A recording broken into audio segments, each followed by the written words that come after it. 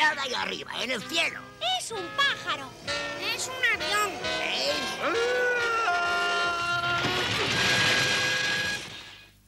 Es, el gran Super Coco.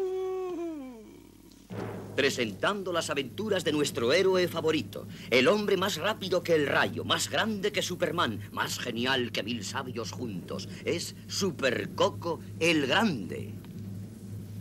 Un personaje anónimo que todo el mundo desconoce.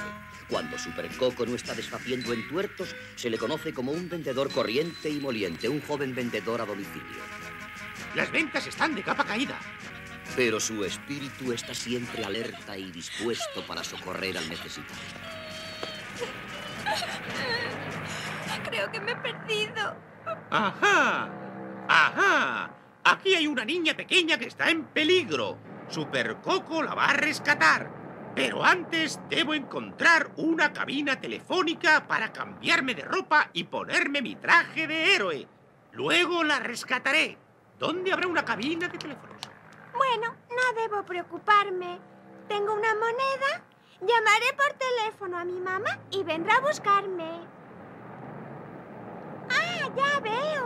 Ahí hay un letrero que dice teléfono y eso quiere decir que eso es una cabina de teléfonos. ¡Ah! Aquí está la cabina de teléfonos. Un momento, un momento. No tardaré nada. Lo siento, lo siento. Esto es importante. Tienes que comprenderlo.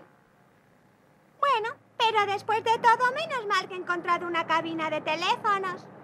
Bueno, ya está aquí Super Coco. Eh, eh, se me ha olvidado la sombrerera. Eh, perdona, niña, perdona, esto es muy importante. Tengo que cambiarme y después te voy a salvar. Eh, ahora mismo salgo. Pero no lo comprende. Yo lo único que quiero es utilizar este tele... ¡Ay! Aquí estoy, Super Coco. ¿Eh? Se me ha olvidado el casco, cielos. ¡Ay! Déjeme, por favor. Este caballero no es un caballero.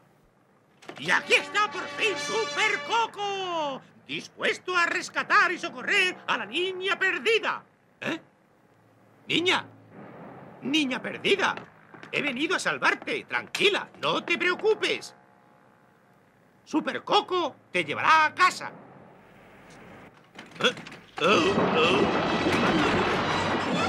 Te voy, te voy a llevar a casa. Suelta eso si tú no sabes dónde vivo. Es verdad, no lo sé. ¿Y dónde vives? Yo vivo en mi casa. ¿Y dónde está tu casa? Suéltame. Tranquila,